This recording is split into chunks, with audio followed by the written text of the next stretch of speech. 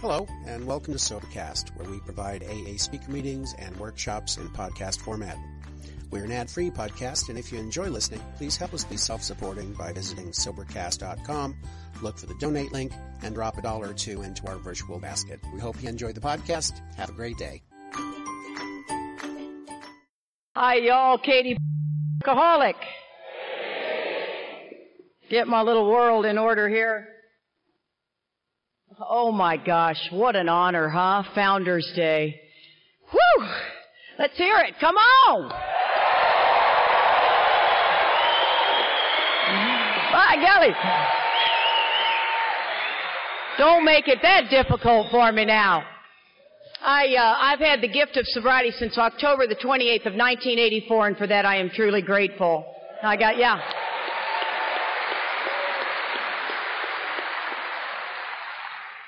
I uh, got sober when I was 26 years old. I'm 56 years old now and darn proud of it. Uh, you know, yeah, let's hear it, huh? Over, over 50. Anybody that's sitting in that wooden seat up there over 50 knows it, okay? I'm keep, keeping an eye on you guys. Yeah, that butt will get sore. That's, that's not a cuss word. Uh, I have been warned. No cussing.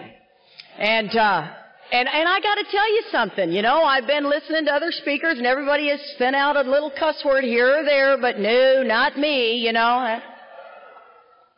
They had to listen to seven of my CDs to find one where I wasn't cussing, but, uh, who's counting?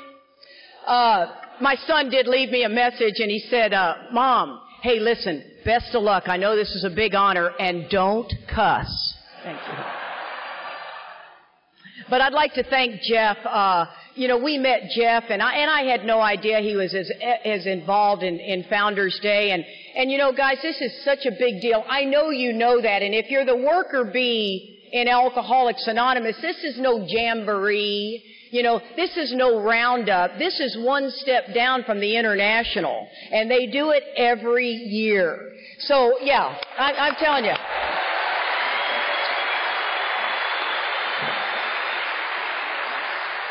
And what I didn't know is that there's only 12 people on the committee. I, I mean, that really shocked me. And, and I, if you've ever been on a committee, you know there's some high tension on a committee. It's kind of like a group conscience meeting. You know what I mean? I mean, it can, woo! And, uh, and so I just, I'm, I, I so admire this. It was so funny. We're friends of Danny Brown's. I mean, Texas is well represented here. Yeah. And, uh, oh yeah, you don't, you don't want to miss Danny. And, uh, my, I was telling my girlfriend who's not in the program, I said, yeah, we're, you know, there's like supposed to be like 10,000 people. And she goes, where are they going to put them? And I thought, I have no idea. I'm not on the committee. I, that's not my problem. I, this, this is my world. You know what I mean?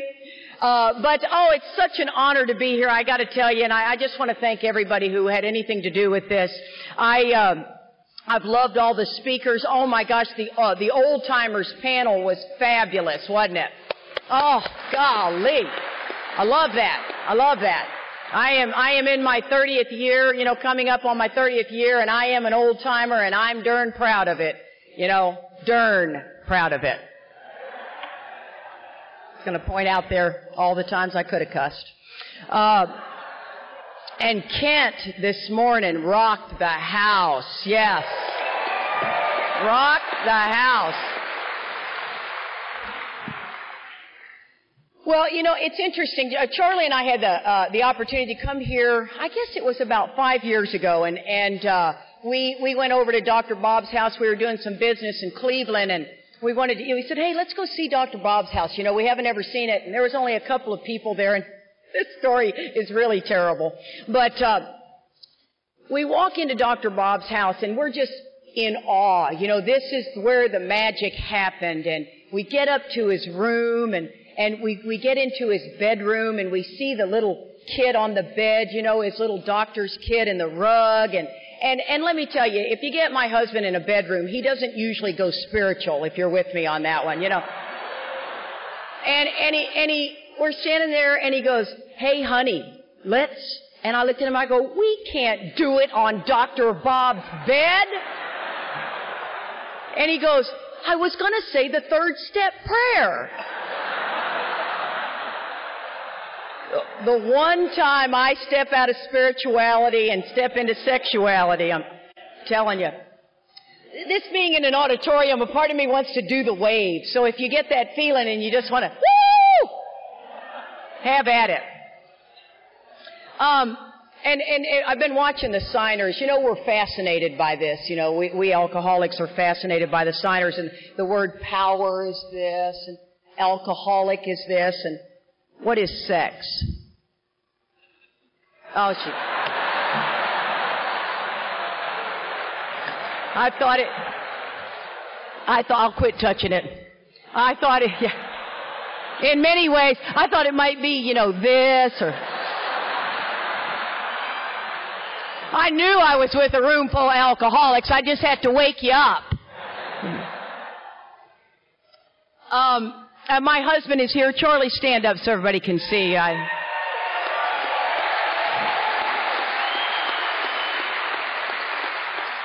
Yeah, my Charlie and I go way back. We uh uh you'll hear in my story, you know, Charlie was uh was a huge influence in saving my life. We were both in what we call untreated alcoholism in the rooms of Alcoholics Anonymous and and uh I I just I'm crazy about you. I love you and can't even start to talk about it. It makes me cry.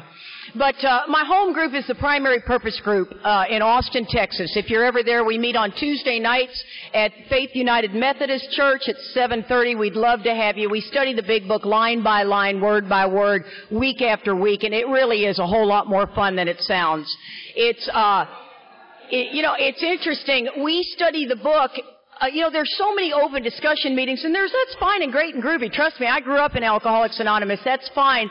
But one of the things we do a little differently at Primary Purpose Group is we study the book the way the founders felt it needed to be written. So we we discuss why the Jaywalker is there, and why they put Fred's story there, and why this is here and that is here, and we agnostics is here, and and we're not using our own experience. We're just kind of studying the text for the purpose of the text, and it really has, it, it, just broadens my view. I'm clearly a girl who understands the big book today. That was not always my experience in Alcoholics Anonymous. I have been on every side of AA you could possibly be on, trust me. And I like the one I'm in today. I like understanding the book. Yeah. I like understanding the book. I had no idea that it had every answer to every problem. Shut up. It was like, Really? I remember the first time I heard somebody reading the book after I had long-term sobriety and I thought, are you sure that's in the big book of Alcoholics Anonymous? Unbelievable. But I love our home group. We have over 200 people, you know, coming every week to study the big book, which I think it means that some people are hungry for that, inst- that, that answer. I also have three grandchildren, and let me tell you what, grandkids are God's do-over. Are you with me on that one? Oh my gosh. Especially for the alcoholic. My oldest grandson is seven and he's real quick to say, Gram, can I have a popsicle before dinner? I'm like, have three, man. I don't care. It's a... run with the scissors, baby, run. You can watch SpongeBob all day long. Oh, I just love it. My husband likes to t- have me warn you guys. I'm a little bit like taking a drink out of a fire hose. You know, uh, sometimes you get a little more than you're expecting, and that uh, you'll see as I lather up and wind up here. Although it's going to be hard to beat Kent. That, that was he had it go. He had it going on. Uh, you know, I'll tell you, I, I have also learned something pretty spectacular in the rooms of Alcoholics Anonymous that I am the vessel. I am a vessel to get you connected to the power. And that's all I am. I'm not the power. Matter of fact, I don't want to be the power. I never want to be the power.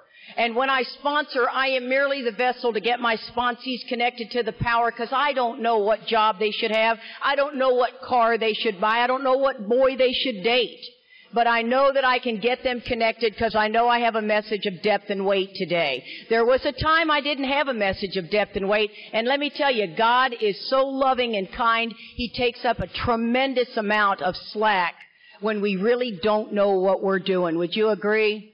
Oh man, thank God for that. Thank God for that. The book talks about uh, uh, many different ways to tell our story, and, and the one I like is on page 29, where it says, "Where I have established a relationship with my Creator," and that's what I like to talk about: is how did I do this? And I and I can tell you guys, as a kid, I was absolutely driven.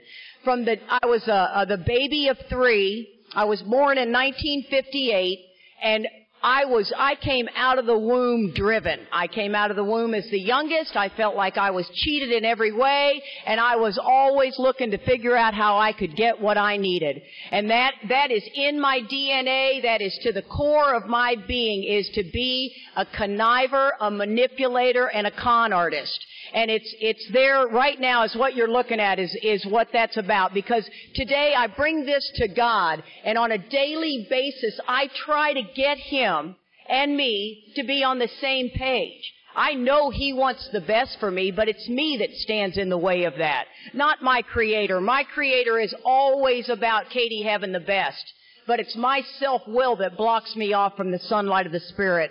And uh, oh, I, I just I could just go on and on with hundreds of stories. But as a kid, it was it was when I was about eight years old. My mother got very very sick and when she, she ended up just basically dying overnight, she had a kidney disease. And when she died, my dad was at such a loss that he ended up remarrying three times in an 18 month period. Has not afraid to close a deal, let me tell you. And, uh, and in the process of that, we had four live-in housekeepers. So, because he was a traveling salesman, he'd also played for the NFL. And, and so what happened is I had seven women come through my life in an 18 month period. And today I would have swore to God when I came into the rooms of Alcoholics Anonymous that that's what made me alcoholic because I believed something had to make you alcoholic.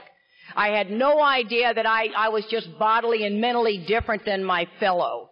And so when I came into the rooms of Alcoholics Anonymous, I really believed that if you would have been me, you would have needed a drink too.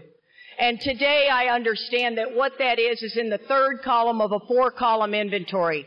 That gave me all my old ideas on life. That gave me my old ideas on women, on men, on marriage, on mothers, on fathers. And let me tell you, I got a heap of them. And they come up more and more because I believe in doing continuous inventory. But I can tell you something else that I didn't get. I thought Alcoholics Anonymous was for drinking. I really did. I believed it was for drinking. I didn't get this selfishness and self-centered piece. As a matter of fact, when I came into the rooms of Alcoholics Anonymous, I had a, I had a year sober. Oh, I think it's important that I tell you that my husband has five and a half months less sobriety than I do.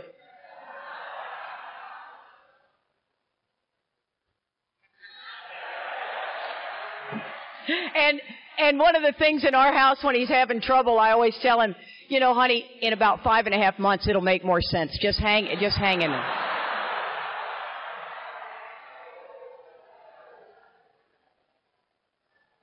But I have to tell you, in early sobriety, we grew up together, Charlie and I and I was married. I had uh, chased a boy into the rooms of Alcoholics Anonymous, and Charlie became my best friend. I mean, like my brother. There was no energy, no sexual energy, no nothing. We played like brother and sister. And he was so clearly selfish and self-centered that I could see it in him, but I was absolutely blinded to it in me. And so at some point in my sobriety, I didn't believe I had it. I was voted most likable in high school four years in a row. That's a lot of work, by the way. But I have to tell you that, eh, that and, and that's what I think we do in AA. I think we get an idea. We don't really ask anybody about it. We get an idea and it's fact. It's the level of delusion that I live under. And Charlie was the kind of guy who chased the crazy girls in Alcoholics Anonymous. You know that guy. Oh my God. We girls are looking around going, oh my God, she's crazy. Back it up, buddy. Back it up. And they're like this. They're just moth to the flame, man. And, uh, and, and to, to me it was just so obvious. And I had it together because drinking was my problem. And, it, and if, how, how many of you guys got sober in the 80s? Yeah, so you know what was happening in the 80s. It was the inner child. The inner child needed to be nurtured. And we needed to get the chakras right and all that stuff together.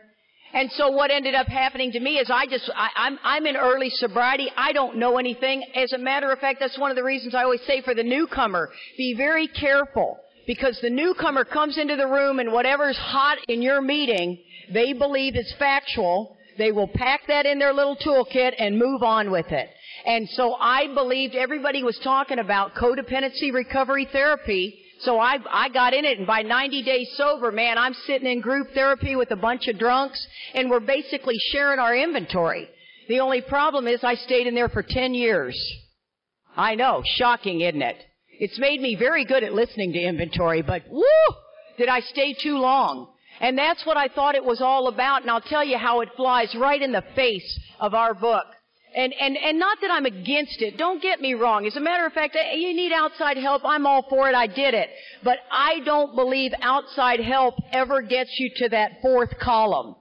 And that fourth column is crucial. That fourth column is for me to see my wrongs and my harms to others. I never once had a counselor say to me, wow, oh yeah. I never once had a counselor say to me, wow, Katie, you need to go back to those people and clean that up. It was more like, they're toxic. Stay away from them. And and listen to how this flies right in the face of uh, page uh, 19, top of page 20. It says, "Oh, I don't have it here." It says, if, for, if, an alcohol, it says, uh, um, the viewpoints and shortcomings of another is our guiding light. As ex-problem drinkers, our very lives depend upon the constant thought of others and how we may help meet their needs. I remember the first time I read that, I was like, shut up. Are you kidding me?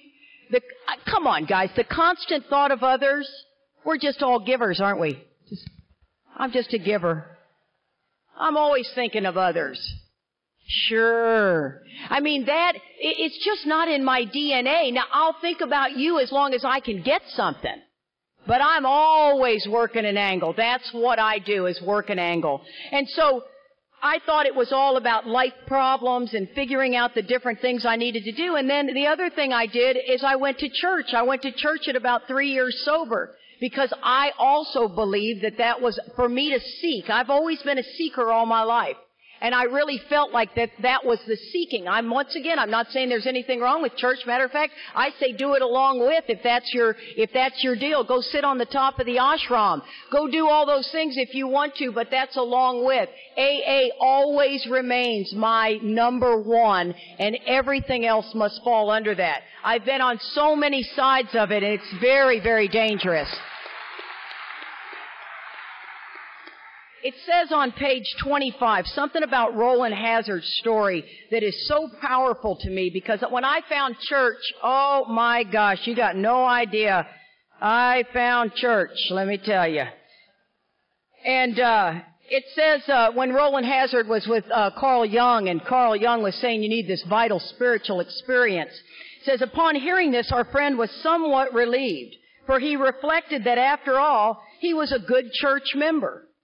This hope, however, was destroyed by the doctor telling him that while his religious convictions were very good, in his case they did not spell the necessary vital spiritual experience. That's me. See, I can't go there and get fixed. I, ha- I, I don't realize that these 12 steps treat my alcoholism. And what does that mean for me? Not am I, I'm bodily and mentally different from my fellows. So what are they talking about?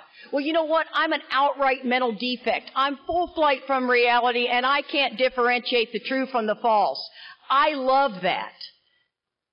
I don't know about you. I love that feeling. I'm telling you, it's the best feeling in the world because when I got to Alcoholics Anonymous, there was something seriously wrong with me. And I was scared to death. I had no idea that selfishness and self-centeredness was the root of my problem. Whatever. I mean, it just sounded so simple. And today what I understand is that I can get blocked off from the sunlight of the Spirit that fast. That fast, man. And once I do that, my spirit falls asleep. And I don't get that I've got to have this awakened spirit. For me, an awakened spirit personally is not much fun. To get awake means I have to swallow and digest a lot of chunks of truth about myself. before I can ever see anything objectionable and take it to God. Today it is so, it's just unbelievable. It's like Ebenezer Scrooge and the Grim Reaper pulling back that curtain watching Tiny Tim. That to me is what this is all about, is for me to constantly keep an eye on Katie. And the best way I do it is through sponsorship. I mean, a sponsee will come to me and be my mirror image, and there'll be my opportunity for me to see Katie in the light that I need to see it. I'm telling you guys, I was the, the, the type of kid that I was, I was the, I, I started drinking at 12, and I was no different than any other alcoholic. As a matter of fact, how many remember your first drink? You know why? Because it did something for me. It did something for me. My husband likes to say something like, do you remember the first time you ever had cornbread? No, because it didn't do anything for you. But that drink did something for me. And at 15 years old, I got in a big old fight with my dad, and let me tell you what, he said, either you mind our rules or you're out. And I left home at 15, never to come back again. I got a level of pride that is abnormal. I know that about me. I'm an alcoholic.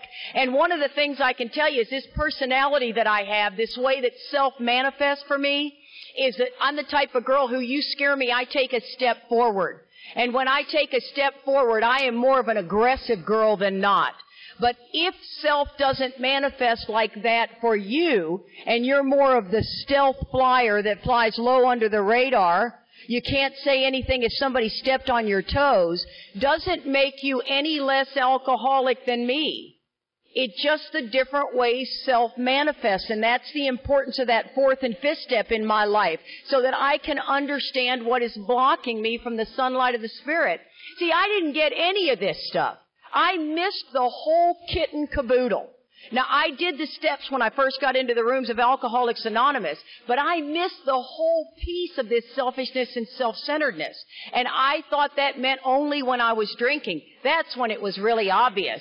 I mean, I was the kind of little girl who sat at the 7-Eleven to get the booze. You know, you were 12 years old waiting for the creepy guy to pull up. You guys know, I mean, oh, I always love the women are always like, oh yeah, I forgot about that. I remember the creepy guy. You know, and you gotta wait for the creepy guy to pull up and then you gotta say, hey man, can you buy us some booze? You know, we're not the Girl Scout cookie sellers, right? We are looking for booze and, and, uh, at 12 years old on our Schwinn bikes. And the guy, eh, guy goes, yeah, I sure can. By golly, I sure can. And our, and the biggest amount of trouble was to lose the creepy guy, right? That's all we, that, our job was to just go straight into the woods, you know? Cause creepy guy was creepy. And, and I'm here to tell you, he's sitting in the room right now, isn't he?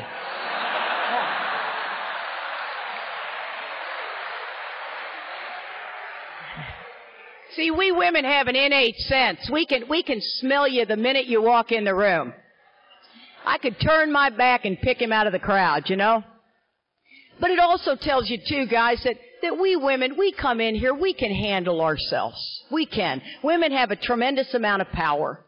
And most of us came in here, yes, yes we do. We're actually running the show if you don't know, okay? What was it in my big fat Greek wedding is, you know, the man is the head of the household and the woman is the neck. She can get that head to turn any way she needs it to, you know. But the truth of the matter is, is in the rooms of Alcoholics Anonymous, I also believe that women have got to protect women. We need the women protecting the women. And, and here's the, here's the real kicker. We're protecting the women from themselves, not from you boys, okay? I remember I chased a boy into the rooms of Alcoholics Anonymous and he had six years sober and I had ten minutes. And, uh, and I am so grateful no one was the arbitrator of our sex life, but I remember him saying, this is all wrong, Katie. And I'm like, no, come to the light. Come, come. And I swear he did that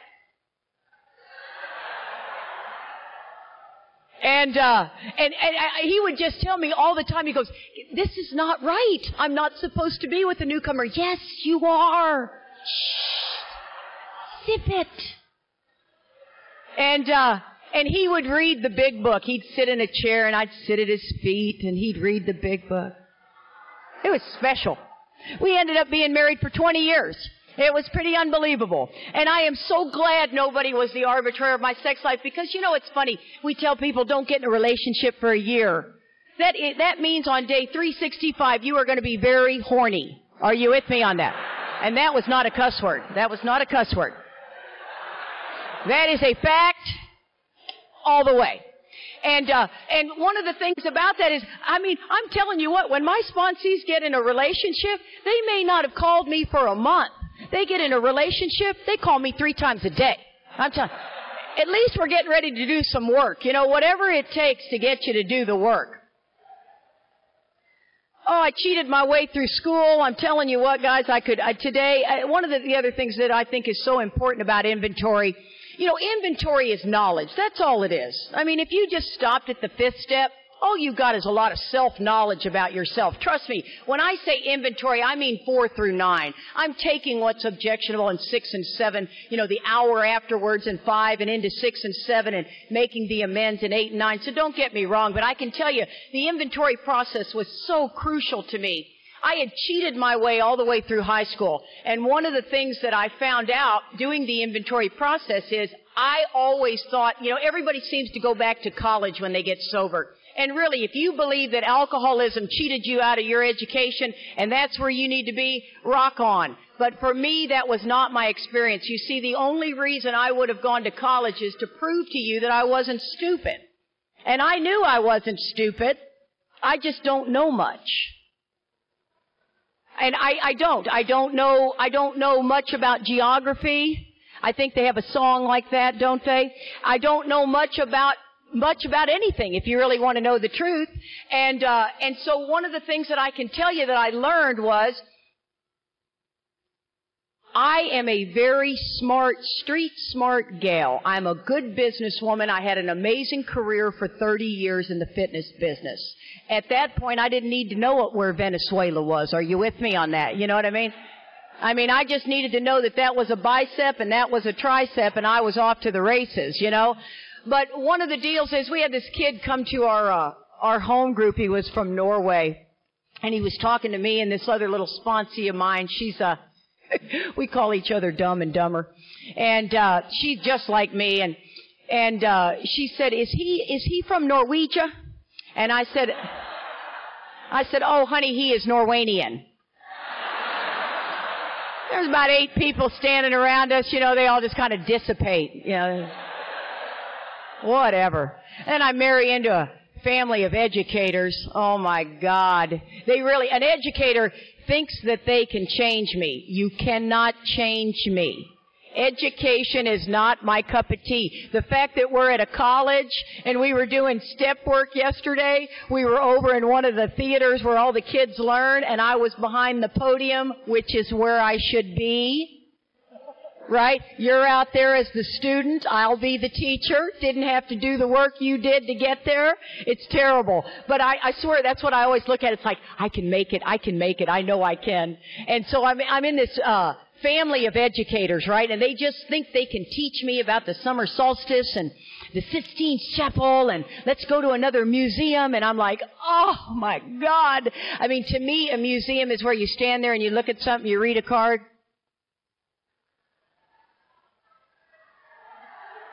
And the place is about this big. You go, no way, not gonna do it. My husband will say, I'll ask him, I'll say, honey, how do you spell this? And he'll go, let's sound it out. Oh yeah. Oh. So somewhere in the sixth grade, it was like this. What are they doing, man? I got no idea. But I can tell you my qualifications as an alcoholic is when I start, I can't stop. And I can't stop starting. That's what happens to me. I'm a woman in Alcoholics Anonymous. I know incomprehensible demoralization. I had a five-year-old child when I walked through the doors of Alcoholics Anonymous and I drugged that little girl in places she shouldn't be. I have a value system in place that tells me, stop it. For the women in Alcoholics Anonymous that raise children know exactly what I'm talking about. You look into the eyes of that child and you know it's wrong and you gotta do it anyway. Nothing stops us. Kent's story was beautiful. He looked into his mother's eyes. It's the same feeling. It doesn't matter if you're a male or a female. Just more women happen to look in mother's eyes. I've always said if you boys could get pregnant, it would be really something, wouldn't it? Oh yeah. But I'm also one of the lucky ones. When I chased Joe into the rooms of Alcoholics Anonymous, I had no idea what I was getting into. I had known I had a drinking problem for at least five years, maybe seven. I knew that I couldn't stop. I thought my outside issues were really my real problem. But the truth of the matter is, man, is I love alcohol. I love what it does for me. I have no idea. It's calming the beast of this self-centeredness. I just love what alcohol does for me. It's an internal condition that I have. And so I chase this boy into the room of Alcoholics Anonymous and the next thing you know, man, we're off to the races. I fall in love with you guys. I don't realize that the, the fellowship of Alcoholics Anonymous, I too had an old idea that, that alcoholics were the guys under the bridge with the trench coats. I walk in and I see people like you and I'm shocked. I am shocked at my first AA meeting. There were three people in there I drank with. That's troublesome. You know, they hung out at the same bar I hung out at. And when they disappeared, nobody asked where they were. We weren't talking about AA. You know, it was 1984. That was not a hot topic. It seems everybody knows about Alcoholics Anonymous now, but it was not a hot topic. I got so heavily involved. I was on such a pink cloud for so long. I did the steps. I made the amends that I saw were crucial from the tornado. Joe and I were all about doing all the conferences. We threw ourselves into service. We were chairing meetings. We were doing everything, sponsorship, everything in about three years, and I tell you, I sponsor half the country, it feels like. I could almost tell you when somebody's going to start to twist off with the failure of self-will. And it happens between 18 months and three years. It happens between three and five, five and seven, seven and ten, ten and fifteen, fifteen to 20. You'll twist off. Because that level of self-will, you can't, I don't think we can handle it. And we don't get it. I think it's the failure of, I, I think my delusion tells me it's the failure of AA. I don't want to sit in another meeting and listen to Big Head Doug again. I'm not doing it. There you go. Oh, there the hand goes. I see it. You know what I mean? There's Bandana Brian. And I start picking off the only, the people in Alcoholics Anonymous, the only place that's going to save my life. And the ego and that separation tries to make me hate the only place that's going to save my life. And that's what I think ends up happening to most of us. I think, I, I don't know anybody that I've ever met that said they came into the rooms of Alcoholics Anonymous and fell in love with every one of us from the minute they got there till now. I've written more inventory on AA members than I've ever written on, on my family members, you know? That's been my experience. So at about three years, I was a big seeker. I, I always wanted to seek something. I never knew what it was, but I wanted to seek something. And Joe says to me, hey, let's go to church. And I remember thinking, no, you know, I was raised Catholic. You know, they were speaking a Latin, Latin. Did I get it right, honey? Okay, I usually say something else. They were speaking Latin. It made no sense to me at all. I mean, the guy is doing this number in a foreign language. I mean, my biggest task was to flick a booger on my sister. You know what I mean? And ahoo, scored, you know? And, uh, so, I mean, I didn't have any pros or cons about religion. I just didn't really get much out of it. You know, I always believed there was God, but whatever. I like to do all kinds of bad stuff. And, and so the other thing that was uh, really interesting is when Joe said this, he said, no, Katie, you don't understand. This church is incredible. And it was a non-denominational church. They had the screens that came down, right? And you, you'd sing and you do the worship and all this. And we come walking in. It's all the young people. And, and I'm young, right? I'm only about, what, 30, 31. And we walk in and I'm like going, oh my God. And the next thing you know, man, we are, and we are feeling the Spirit. And I mean, from that point on, I turned into what I like to refer to as a Jesus freak. And I, I know you know that Jesus freak. Go ahead and look at him. And I mean to tell you, I got high on Jesus. And here's the problem. Some of you may be saying, oh my God, I can't believe she's saying that. Jesus, Jesus, Jesus, Jesus. Of course, I could say the Dalai Lama, and that really doesn't do a whole lot for anybody's, you know, making the hair on the back of your neck stand up. But what I can tell you is I felt like I needed to come back to the rooms of Alcoholics Anonymous to help you heathens find Jesus. And therein lies the problem.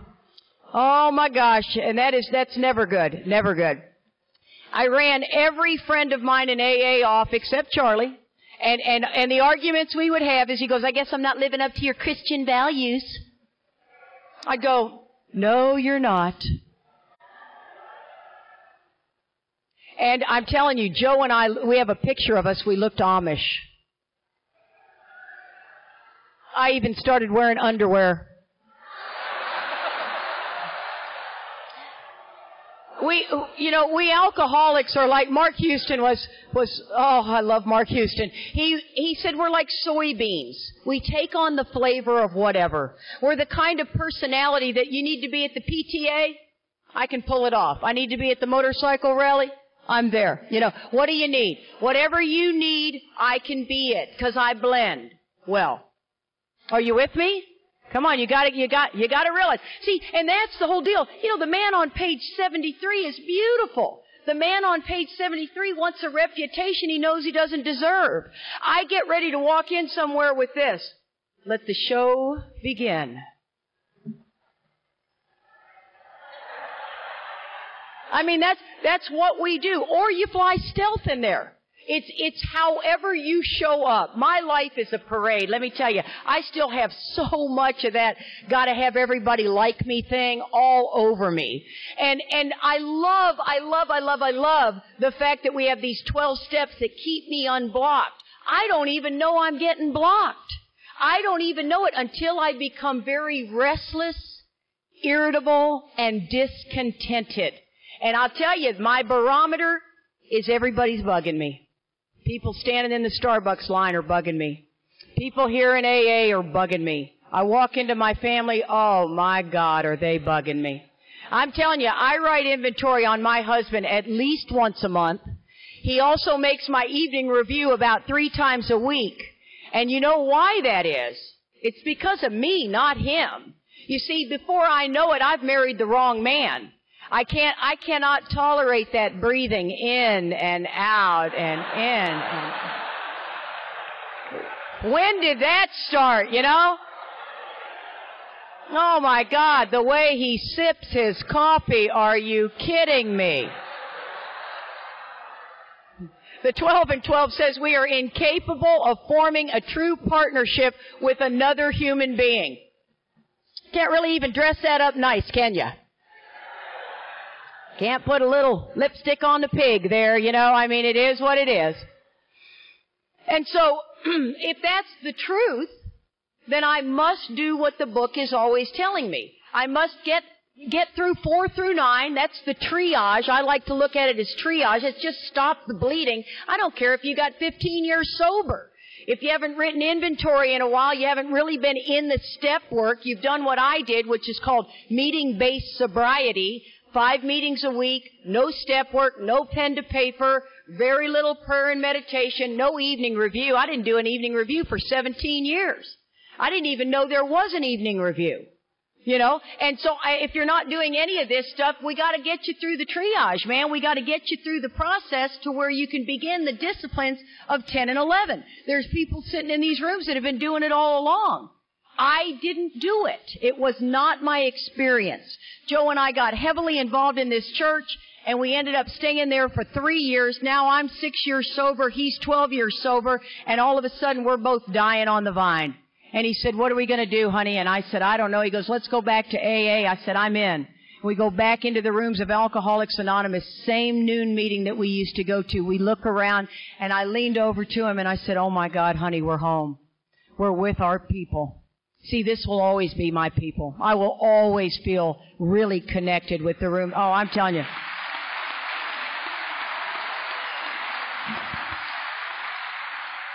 I, I love you drunk or sober too. I love drunks if they're drunk or sober. Now I can only tolerate you so long if you're drinking. But I do, I do love you drunk and sober. And so the next thing I know, I'd love to say we skip down the yellow brick road from that point on. Oh my God, it would be wonderful to say that. But what we did is we joined what I call meeting-based sobriety. I did not get that we needed to work the steps anymore. I, nobody said that to me. I just didn't get it. So what I was getting out of the meetings, because we were doing about five meetings a week, was relief but not the freedom. See, the relief is what we get when we get to the meeting, but I wasn't getting connected to the power. And so when I go to a meeting, I would hope you'd say what I need to hear. Cause man, I'm wound tight. And about two hours after that meeting, boy, I needed another meeting. And that's what it was, and that's what that looks like. I, I was a big slogan slinger, and if I had a problem and I came to you and you slung a slogan at me, let it go. Love and tolerance is our code. Especially if I'm talking trash about somebody. Anybody relate to that? Thank you for the hand over there. Yeah, there's one other person gossips in this room. And, uh, and, uh, you know, and, and I'm, I'm over there gossiping and somebody says, Katie, love and tolerance is our code. I wanted to slap their lips off their face. You know what I mean? I mean, you, you, you're coming at my ego. You know, at that point, what I wished I'd have heard is, let's go outside and talk about this. Let's take this through the, a four column inventory. Let's look at doing a little inventory on this so you can see it from an entirely different angle. But instead, what you're saying is let's work the promises, hope the steps come true. And that to me is not the way the book lays it out. The book has very clear cut directions into what I'm supposed to do. If I'm sitting in a meeting today and I see somebody raise their hand and they are really angry, I'll go over there and say, hey listen, you got a few minutes? Let's go outside. Let's sit down. Let's talk about that situation. And if you do it correctly, you can work all the way around that ego, man. And you can get them to look at it from an entirely different angle. You can have them tell you what's wrong in column two. You can tell them what it's affecting in column three and what's going on in column four, and they don't even know what hit them. But they begin to feel that relief. And that relief is, anyone that's sitting in the rooms of Alcoholics Anonymous that is in pain can hear solution. They just don't necessarily know how to get there. And that is what my job is. One drunk sitting knee to knee with another drunk. That is my job. I know it today and I didn't know it then. And there was also a time I did not have the solution. But I believe God takes up a tremendous amount of slack. I think physical sobriety has a tendency to look like recovery and I was living in it. I love what it says on page 25. It says, if you are a serious alcoholic as we were, we believe there is no middle of the road solution. We were in a position where life was becoming impossible. And if we had passed into the region from which there is no return through human aid, we had but two alternatives. One was to go on to the bitter end, blotting out of the consciousness of our intolerable situation as best we could, and the other was to accept spiritual help. I guarantee there are people in this room blotting out their intolerable situation right now and scared to death to say anything about it and have no idea where to go. Well, I'm here to tell you there's a place you can go and I'd be happy to be the one to help you with it. I can hook you up with people that can take you through this book and get you to the freedom. I'm telling you, and that's where I'd like to hear the applause. Absolutely. I'll just start asking for my own applause. You know what I mean? But, but that's what I'm saying, guys. I, wait till you hear the rest of this story. It rolls out terribly. I thought we had the answer. I thought Joe and I had found what we needed, and that was to come back to meetings. Don't get me wrong. Meetings are a part of our triangle. Meetings and service, unity and service. But recovery is our foundation. The 12 steps are our foundation. And so we're trying to live off one side of the triangle and that we're trying to live off that fellowship-based sobriety. And so Joe and I are tooling along and then all of a sudden my husband gets sick and I'm talking very, very sick. And there is something wrong with him and we don't know what it is, but it's in his head. And so he goes to all these psychiatrists and we can't figure out what's going on. And all of a sudden, we, we this uh, one of my girlfriends at the meeting says, "Katie, if the doctor says he needs to go have his head scanned, you need to have good medical insurance. All we had was catastrophic." And she said, "If you go drive a school bus, you will get instant HMO." And I'm like, "Really?" Now, see, I've already begun living in the victim of the delusion that I can wrest satisfaction and happiness if I just manage well. I get that. And I'm out there managing my tail off and I'm in constant collision with somebody or something, even though my motives are good. And so I ended up going down to this bus yard and I get the job because I can get it. I, I have a level of self-reliance, guys, that if you want me to set down that tool, you're out of your mind. See, I left home at 15. I got through high school. I've been an amazing career in the fitness industry. I am not about to set down self-reliance. It gets me what I think I need. Don't get me wrong. I'll bring God in when I need Him. I just haven't really needed Him. You know what I mean? Take a knee. I got this one. And so what ended up happening is I go down, I get this bus job, and the next thing I know, we're in the emergency room to get my husband's head scanned. And the doc comes in and he puts his hand right here on my shoulder and he says, my God, he's got a gigantic tumor in his head. And I remember my very first thought was, my God, I'm going to be driving this bus for the rest of my life. See, that's the level of self-centeredness I have. And that's the level of self-centeredness we have. I, nobody's going to know that first thought. Oh my gosh, that certainly doesn't make me look very good. But I didn't look at Joe and go, well, that's just great. I'm going to be driving that stupid bus now while you got a brain tumor. That was not what I did. Matter of fact, we cried and cried and cried. And at that point, the, the doc told me, he said, he will never work another day in his life. Now we were a two income family. We had a kid in college and one in elementary school. And for when you tell me, when you threaten my money, watch me go crazy. And so he said he will work, never work another day in his life. Now remember, I'm uneducated. All I have is the fitness business. Oh, I'm getting older. And my body cannot handle much more. And I ended up, it felt like I swallowed a tennis ball. And one of my dear friends was sitting there and he goes, Katie, what are you going to do? And I was like, I can't even talk right now. Because there was no God. Are you kidding me? I'm in untreated alcoholism. I am an alcoholic, a garden variety drunk. You scare me that bad, get out of my way. I got this. When you talked about your mother putting that family on her shoulders, I can put a family on my shoulders and get out of my way or I'll run over you. That's what I do. And let me tell you what, guys, I almost killed myself and my family in the process. I went out there and I produced so much money because I can make money.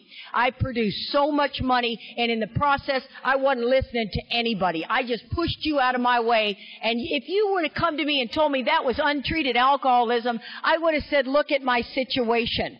I got big problems. Don't throw your little spiritual toolkit at me. I can handle this. And that's what happened in my life. And I'm telling you what, I ended up driving that school bus for three years at that point. And I got some bus stories that make you wet your pants. Go ahead and picture me behind the wheel of a bus.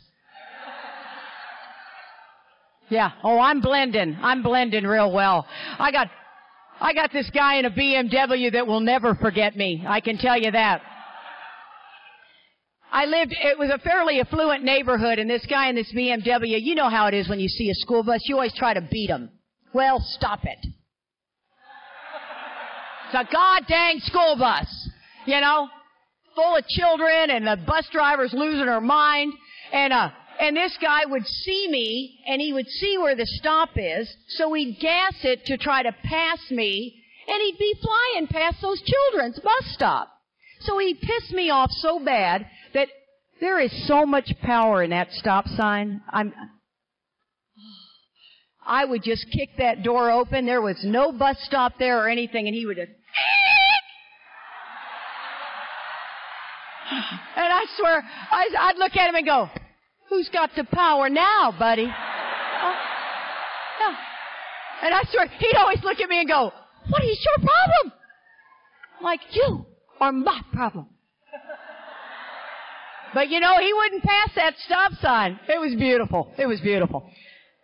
Now, now keep in mind, I'm in untreated alcoholism. I'm not running that past anybody. I'm doing what I gotta do to get by. One time the kids, it was, it was uh, fabulous. I got all these little boys were on the end of my stop. And it was, the, you know, they're, they're like the last five kids in the bus and and they'd say, Miss Kate, take us down the hill, and there was these two humps, right? And then you had to come to a stop, and I drove a gas bus because it was fast. I didn't want a governor on my bus. I mean, I hauled ass. You know what I mean? I had, I had places to go. And this bus job was strictly for the insurance. One day my bus check was 32 cents. Okay, so it was strictly for the insurance. And it was doggone good deal, let me tell you. But so you go down these two humps. And I would, I'd tell these kids, I can't do it, man. You guys, I'm gonna get in trouble if I do it. No, come on, come on, Miss Kate, come on, come Miss. Okay, fine. Everybody to the back of the bus. They don't. They all get to the back of the bus, and it was all boys, just in case anybody's panicking. And uh, and you can you can throw boys out the window and they're fine. You know what I mean? And I I would go, okay, get ready, and I'd gas it, man, and we went over those two humps, and I got so airborne, it was unbelievable. And you look up in the mirror, and they'd be like, Wah! Oh my God. And and I could get them, I could shoot them five seats, man. You know, I mean, uh, and all of a sudden you you got to hit the brakes because the street stopped and you had to take a right. So I hit those brakes, and all of a sudden the bus just goes. And I swear those kids are like this. And I go, what was that? And we all get off. I blew all four valve stems off the back end of that bus. Oh yes, I did. And those kids were like rats from a sinking ship, man. They pew. Oh, you know, I got to get on the phone. You know, the the the radio. It's like, uh, yeah, uh, turtle bus to base. Turtle bus to base. Base comes on. You know, our boss has a little walkie-talkie on his hip, and and uh, the guy, the maintenance guy, goes, "Yeah, turtle bus, what's up?" I said, "Man, uh, Billy, I don't know what happened, but uh." All four valve stems just shot right off the back end of my bus. And you hear the boss go, what? So I'm not going anywhere, man. I'm dead in the water. And so I gotta wait for the maintenance guy and the boss to come. And this is how that moment took place. They looked at the bus wheels. They looked up the hill. And they looked at me and said, you don't know what happened? I said, no sir, I do not. I'm 15 years sober and I can lie like that. Because I can't lose that job. That job is everything I got. And I will lie to you if you scare me bad enough. Right out of my mouth. And what ended up happening, you know, is Joe, uh, unfortunately, we didn't have this safety net. You know, on page 14 it says, for if an alcoholic fails to enlarge his spiritual life through work and self-sacrifice for others, he cannot handle certain trials and low spots. And I don't think trials and low spots have to be a traumatic brain tumor. I think they can be something as simple as losing your job. I really do. Heck, it could be just an over, overdraft fee. You know, if you're at the breaking point, you're at the breaking point. And Joe ended up relapsing with 23, excuse me, with 23 years sober and died of a heroin overdose. So I have a, I have a situation now to where I'm going, are you kidding me? I mean, dies of a heroin overdose at 23 years sober. See, I didn't realize that we were in what I call untreated alcoholism. We did not have a safety net. Our grace ran out.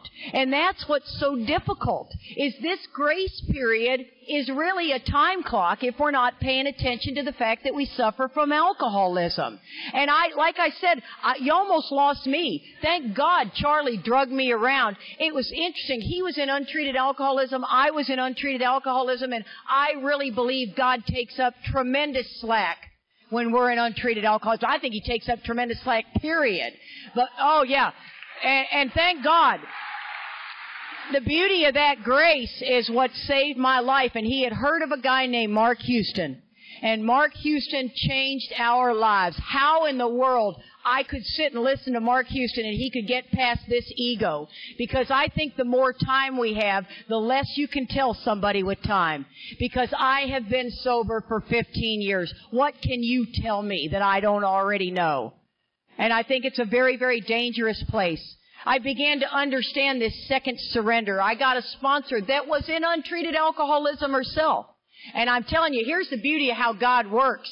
he took her and through me made her dig deeper and deeper into the book and saved her life while saving my life. Who would have figured that one? And, and I'll never forget, it's about 18 months after Joe's died. I am losing my mind. I am in these bedevilments like nobody's business. Let me read these bedevilments. They were read earlier today, but they're worth reading a lot. Page 52. We were having trouble with our personal relationships. We couldn't control our emotional nature. We were prey to misery and depression. That's really self-pity. We couldn't make a living. We had a feeling of uselessness. We were full of fear. Today the term is anxiety. We were unhappy. We couldn't seem to be of real help to other people.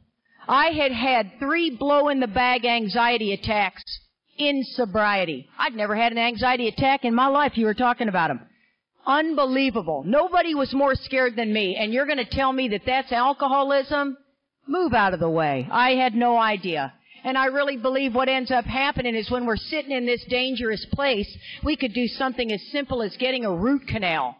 We go in, we got the, the malady is all over us, we don't know it, we're going to meetings, we hadn't touched a step in years, and all of a sudden the doctor says you need some Vicodin. And I say, you know what? I sure do. And the next thing you know, man, I'm off to the races. I'm rescheduling more dental work. Cause that's what we do. We lose more people behind pills today than anything. And I think it's be, yeah, oh, trust me, it's, it's heartbreaking. And I also believe this because I've seen people doing this. I was in a place that was so bad at 18 months, it was so dark in my life. My son had already lost his father. My bedroom was so dark, I couldn't get out of bed. I mean, I was in the worst place I'd ever been and he'd open the door and I would scream, shut the door! Leave me alone! I had no idea I was scaring that boy to death. He'd already lost mom. He's getting ready. I mean, dad, he's getting ready to lose mom. And I'm, I'm 15 years sober, guys. I'm supposed to be the one holding it together. I'm supposed to be the spiritual one. There was no spirituality in my life at all. And I call this sponsor of mine. She's brand new with me, you know. And I said, uh, Marty, you're not going to believe this. You know, I am just really struggling here, yada, yada, yada. And she says, Katie, do me a favor. I want you to read pages 60 to 63 in your big book. And I tell you, I didn't even know where my book was. That's never good. Just take a moment to think if you know where your book is. Huh? Just, just saying. And uh, I opened that book to page 62, and it said, Selfishness and self-centeredness, that we think is the root of our trouble. Well, I'm the kind of girl who picks that phone back up and calls her and goes, What are you talking about? You just told me to read the book. I was looking for the part that said some of us have it harder than others. And she said, Oh, honey, there's a fine line between sorrow and self-pity. And I believe you stepped into it. And for some reason I was able to hear it, guys. I'm telling you what, when she started explaining that third step to me, see, I'm a self-seeker even when trying to be kind. I'm a producer of confusion rather than harmony. Where did I set the ball rolling?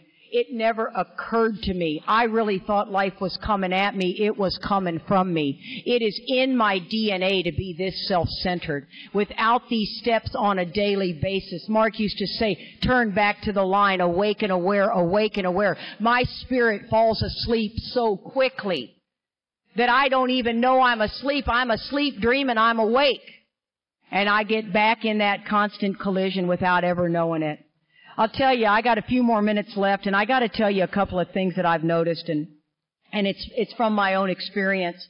I was with Charlie's family at Christmas time, and and uh, you know how family is. Yes.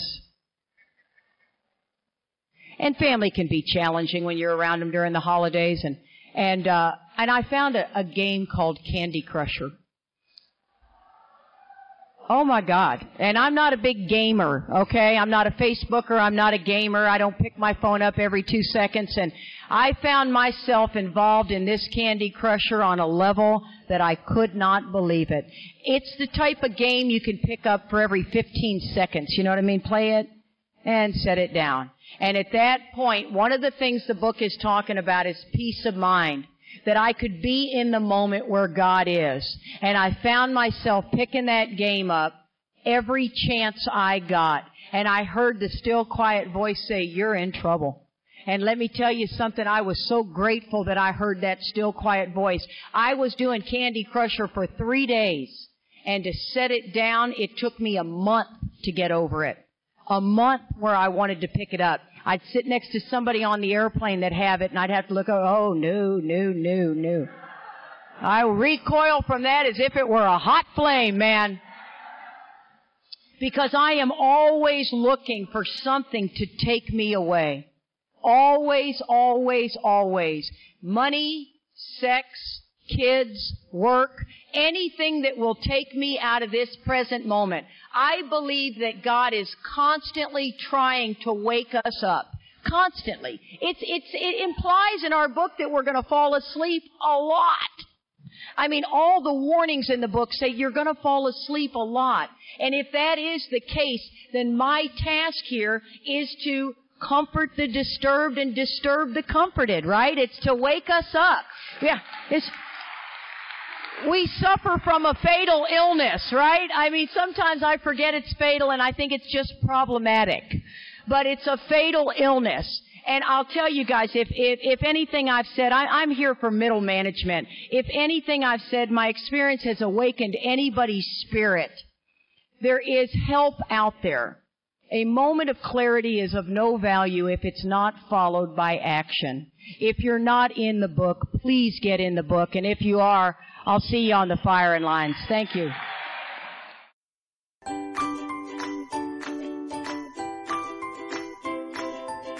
Thanks for listening. I hope you enjoyed the podcast. Sobercast is ad free, and we'd like your help in order to keep it that way. So if you'd like to help us be self supporting by pledging a dollar to a month, visit Sobercast.com and look for the donate links. Thank you very much.